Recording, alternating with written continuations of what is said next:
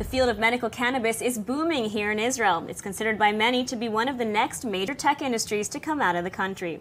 There are so many exciting innovations in this field, and joining me today are Ido Hefner and Jordan Markus from Indorz, which analyzes, predicts, and automates the optimal growing environment for medical grade cannabis. Welcome. Thank you. Thank you for having us. Great, great to have you on. So, tell me about Indorz. What exactly do you do?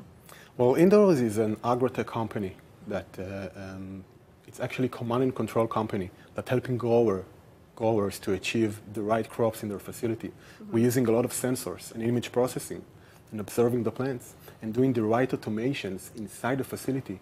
And by that, providing them the ability to have the real uh, uh, um, growth of the plants without any problems because every problem is affecting the facility mm-hmm. with a big impact. And those impacts can be mitigated or totally eliminated with the right systems. Great, and let's talk about the medical cannabis industry because it's a sure. relatively new industry. Can you provide maybe some insight into that? Yeah, and so kind of to go off of what Ido said, you know, the, the reason why these guys are scaling up, the reason why they have so many challenges is because the industry today in 2018 in North America alone was $41 billion. By 2026, it's going to be nearly $100 billion of just cannabis sold across North America.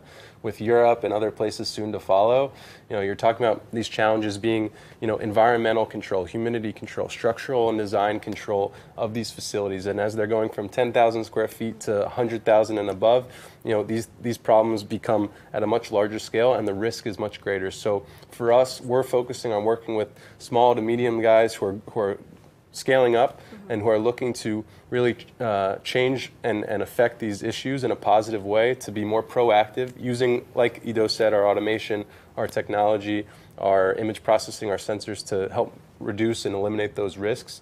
Um, and we're seeing a very rapidly growing industry with many different environments and, and many customizations ahead.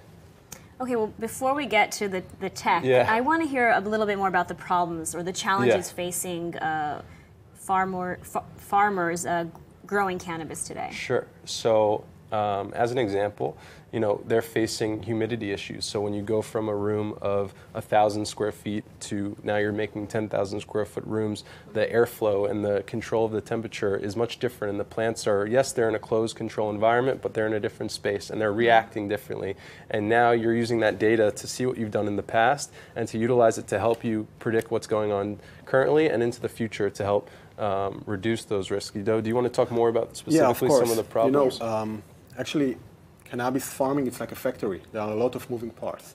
You have valves and pumps and electric uh, uh, HVAC systems, HVAC systems and lamps and fertigation and fertilizer. So very complex operation. very operations. complex, and you know. And people running those operations. It's always the human factor that yeah. we need to take into account. And you, you, you need only one thing to go down, to go with malfunction that you are not aware, and most of the growers are only recognize the problems when the plants are reflecting it. And it's too late. And by then it's too late. It's too late mm -hmm. because it's a live organism. It's not a, it's not a medicine from the big pharma. Mm -hmm. You can't so, turn back the clock.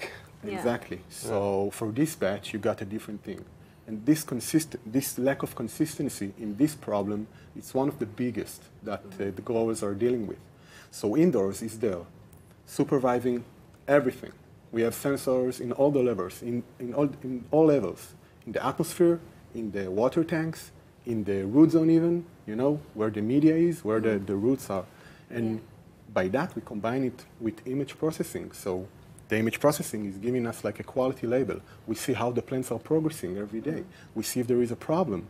We can correlate the data with the feedback from the cameras and give a lot of insights to the grower. As an know? example, something we're doing is you know plant discoloration or, or you know from heat stress events or mm -hmm. things like that. You know items that we're seeing potentially before they're happening. We're recommending to the growers to go check a specific zone or yeah. to go check mm -hmm. a mm-hmm. specific area so they can kind of bring that plant or bring that zone yeah. back to life before it's actually. We, we are turning the growers into proactive regarding their functions yeah. rather than uh, reactive, and it's a different game. Giving them a toolbox, if you will. It's a different game that impact the ROI, impact the revenues, and impact the final product, which is count the most, because there are people behind it that using it. Yeah. And as long as it's going mainstream, it should be very similar to the stable things products that we are achieving from the big pharma. And can you tell me what stage you're in today? I mean, is this technology already in use? Um, yes, of course. Um, so today we are working for three years. We, you know, we only went out from stealth mode like one year ago, and now we have a few clients over North America, and in, and in Canada, Canada and the States. And uh, now we are on the second phase that in a few weeks we are about to install in 10 farms, 10 new farms. Yeah, and uh, this solution is uh, really bringing the, the right KPI for the growers. And this is what we do. We're showing them, look what we, you had before us. And now after Indorz, you can even turn it into money. Because in the end, uh, you're getting money for this, this hard work. Absolutely. And, Yeah. and what's interesting about this market is that you have small growers who are trying to really hone in on the cannabinoid profile and really do something special with the plant and, and create a medical value. And you have medium to large scale guys that have different issues and maybe are more focused on the business and operation and less, mm-hmm. you know, but also focused on the plant. So there are a myriad of challenges here that, you know, we're looking to help solve to become one of the technology leaders in the industry. Yeah. Great. Well, Ido and Jordan, thank you so much for taking the time to speak with us today. Thank you. Thank you so much.